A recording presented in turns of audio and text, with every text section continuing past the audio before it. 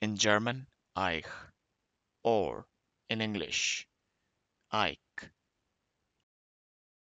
Eich or Ike in German Eich or in English Ike Eich or Ike in German Eich or in English Ike